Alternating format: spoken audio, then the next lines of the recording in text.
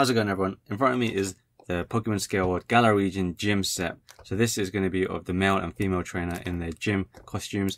So this is in a slightly wider packaging compared to normal, which is usually like more of a cuboid one. So it's another web exclusive, so it's in this brown shipper box. So let's get this thing open and we'll go through the main packaging. So packaging wise, this is a lot smaller than the brown box leads you to believe. So here's the brown box again, alongside the packaging. There's just like a razor inside this.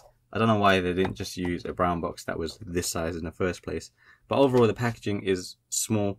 This is the kind of size I would prefer a lot of the scale world to be in because I think the previous scale world stuff have just been overdone with the packaging, oversized, since a lot of the characters are quite small. A lot of the Pokemon themselves are quite small as well. Um, so I think that's one of the complaints some people have kind of raised in uh, comments of my previous videos as well.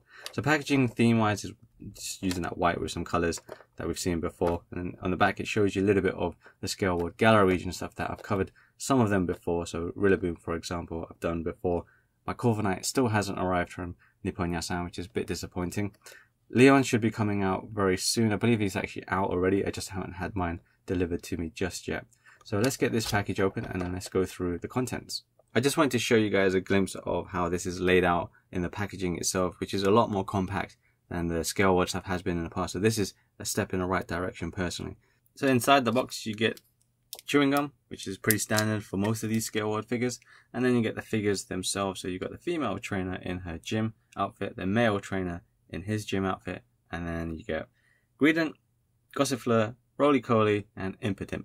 And then you also get a sheet of stickers. So these stickers go from 0 to 9 and they are for adding to the shorts and then the backside of each gym trainer um, if you want to do that. I'm not going to do that, just going to keep those sealed, but let me show you that again.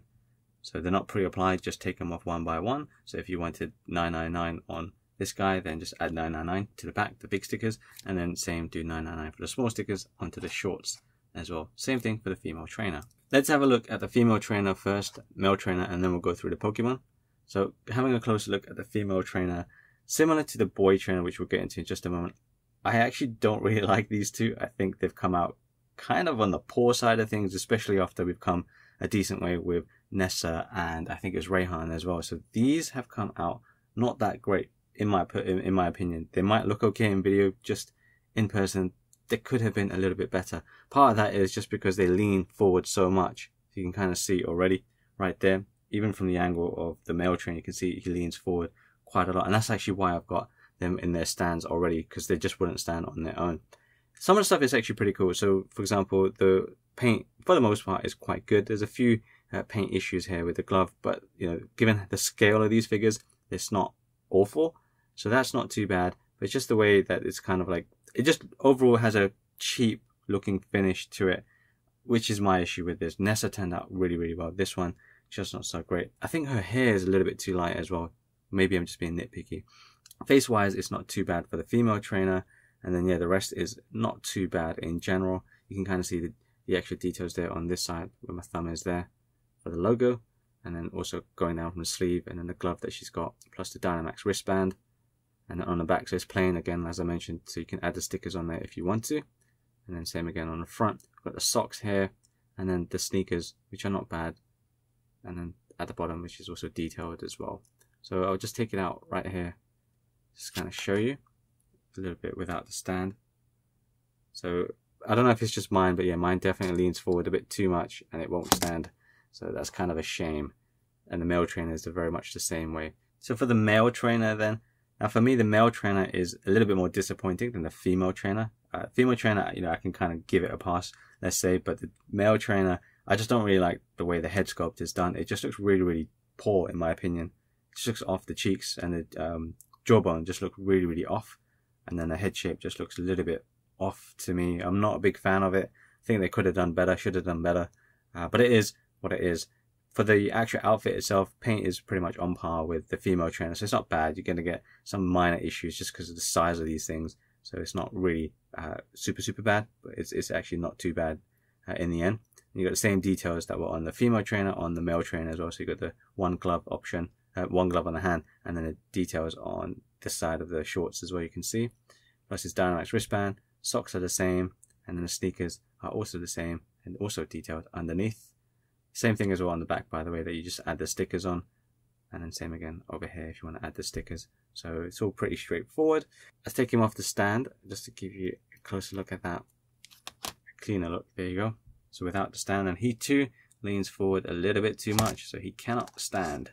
Moving on to the Pokemon, so we'll go with Impidimp first. So I've put these all on their stands because these are really tiny and they don't stand very well, if at all, on their own. So I'm going to take the stand off from Impidimp so it just slides in like so it's kind of cut out already to put the backside of Impidimp into. He's got tiny, tiny legs you can see right there. So just pink flesh body with its tongue sticking out and the teeth as well. So it's given how small it is, it's actually pretty clean, cleanly made. So this is actually quite cool because its nose coming out as well right there. Really, really tiny. See a little bit of flex in the legs and the hand. My worry is that these might end up cracking. Uh, so just don't play around with them too much. That's Impidimp. Then we'll go into Rolycoly. Roly Coley is probably the safest one to handle, I think. Or one of the safest ones, just because it's just a big blob, really. So you can see the rocks protruding out. The single eye there. And same again on the other side. Here's the underside. So the underside is what goes onto the base. So I'll show you that again. Just plug him in there quite straightforward for Rolycoly. Colors are not too bad on both Impidimp and Rolycoly. Let's go with Gossifleur then. Gossifleur, it kind of has that floating uh, look to it. So this one has a really, not the nicest looking of bases, but it's, you know, I, I understand why it needs to be done. You can just take that off. You can see how Gossifleur sits in there. Put that back in just to show you.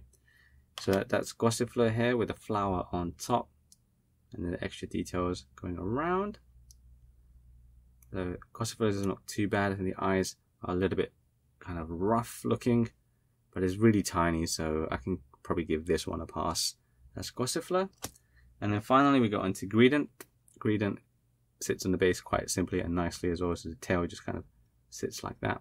Really simple. And this base doesn't look too bad, I mean, because you're going to really see it from this angle. You don't really notice it, like, say, Gossifleur's one, which was a bit too too obvious. So Greedent looks like so. Decent paint job again, given the size, it's actually done decently. You've got a different kind of paint from uh, the front belly side onto its main body, and then the tail and the ears, different color paint as well. And of course the details on its face with different nose. And there's little freckles that they've also added onto it, which is kind of cool. I'm not sure actually, I need to check if they missed the paint there or if that's a mistake. Uh, I need to double check that one, but it's actually not too bad. Again, you're probably not going to notice something like that. But it's kind of cute actually, this one. Greedent's kind of cute with its big cheeks. So those cover the Pokemon and everything else in there. So generally speaking, I think the idea of this set is pretty good. I think having the male trainer and female trainer as a pair in their gym kits is really cool. I just think execution on these two themselves isn't as high as I was expecting or hoping for. I think after coming from Nessa and Raihan, these are quite disappointing, especially the male trainer. His just face just looks really, really weird. And then the lean forward that they've got going on is quite disappointing. The Pokemon themselves look pretty good. They're really tiny, so I think given that kind of scale, they've come out okay, more than okay even. Greedent for me is the better one of, of them all, just because I think he looks quite cute. Impidimp as well. Gossifleur is the weakest one for me, just because of the eyes look a little bit on the sloppy side. But otherwise, you know, they're good, I would say. As a set, I think it's a decent set, diverse set of Pokemon. You should still be able to get this online. I got mine from Nin Games. Just double check some of the places because of COVID and shipping restrictions and so on and so forth. You may have delayed shipping happening, but I got mine from those places. I'll cover some more Scale World stuff soon. So the next one is going to be Leon and Dragapult. I believe that should be with me in the next few weeks. So stay tuned for that one. Thanks for stopping by. Stay safe wherever you are. See you in the next one.